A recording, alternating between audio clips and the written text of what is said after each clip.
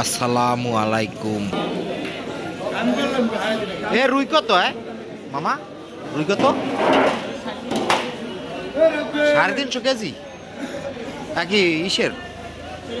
স্বরূপকাঠির Shariatpur.